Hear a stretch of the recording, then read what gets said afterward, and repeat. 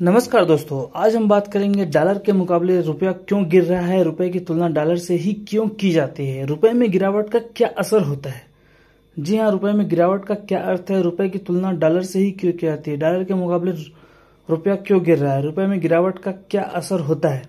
इन दिनों आप रोज डॉलर के मुकाबले रुपए के गिरने की बात सुनते होंगे। कुछ ही समय पूर्व रुपए में भारी गिरावट आई थी और वह लुढ़क कर सतहत्तर दशमलव सात दो प्रति डॉलर के रिकॉर्ड निचले स्तर पर आ गया था। इससे खलबली मच गई थी।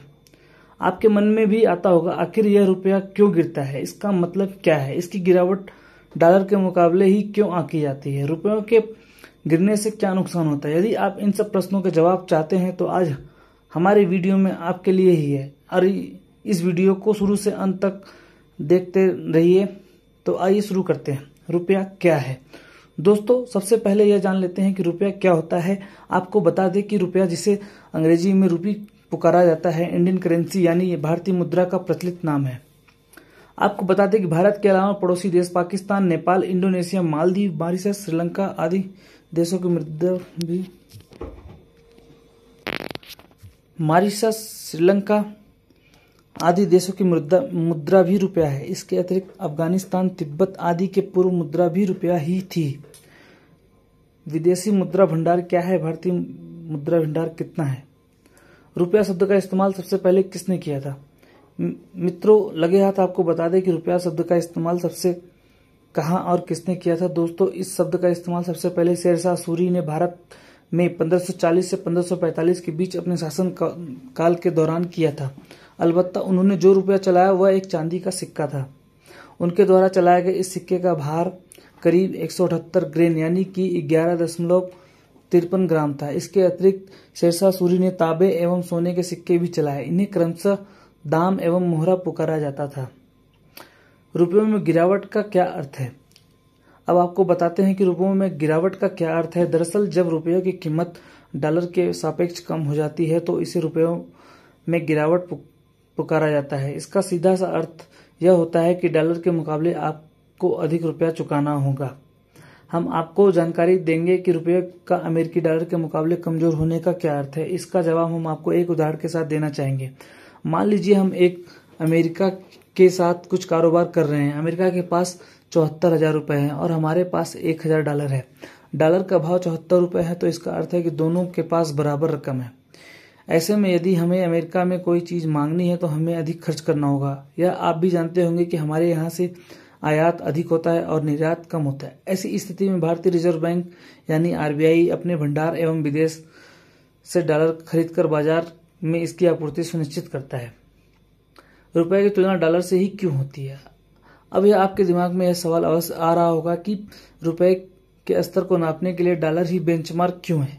किसी अन्य देश की मुद्रा से इसकी तुलना क्यों नहीं होती है? तो दोस्तों, इसकी वजह यह है कि अमेरिकी डॉलर को वर्ल्ड करेंसी यानी कि वैश्विक मुद्रा का दर्जा हासिल है।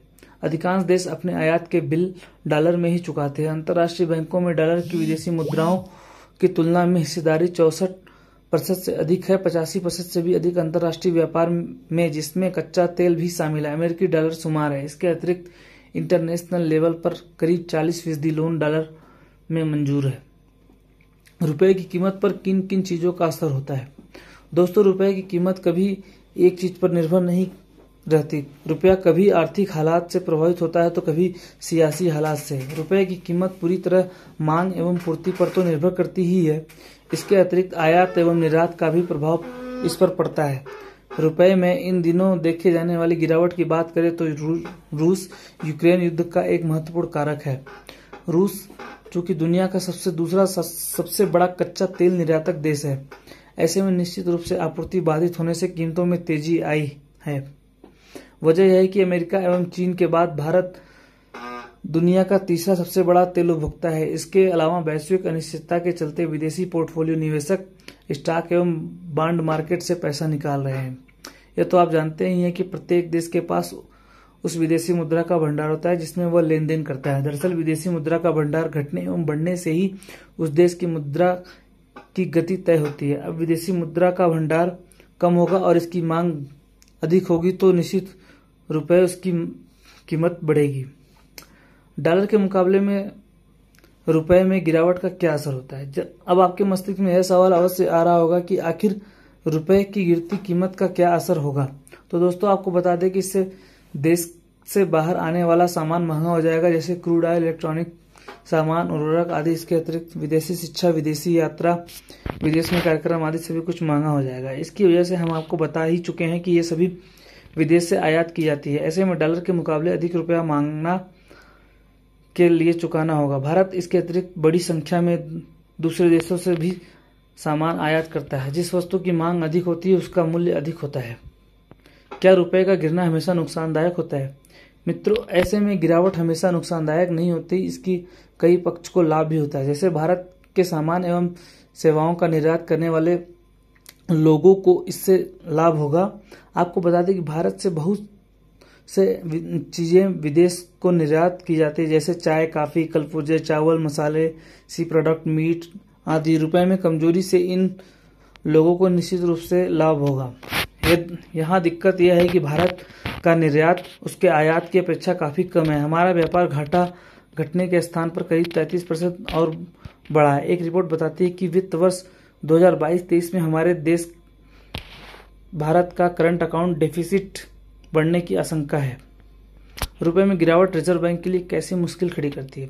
साथियों, इस बात से तो आप भी वाकिफ हैं कि देश में महँगाई दर बरसों पुराने रिकॉर्ड तोड़ रही है। आम लोगों के लिए मुश्किल बहुत बढ़ गई है। लोन की ईएमआई महँगी हो चुकी है। विभिन्न वस्तुओं की थोक एवं फुटकर कीमतें लगातार उछाल भर रही हैं।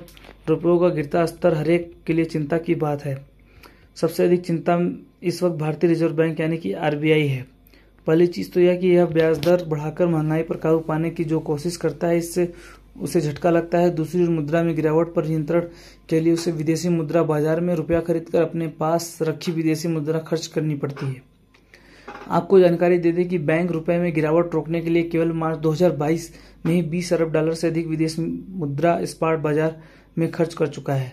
अब यदि इस पर काबू पाने के लिए जून में मॉनिटरी पॉलिसी की समीक्षा कर फिर से ब्याज दरें बढ़ाता है तो देश में पूंजी की लागत बढ़ जाएगी और इसकी ज़ाहिर सी बात है कि इकोनॉमिक रिकवरी पर बुरा असर पड़ने की आशंका है।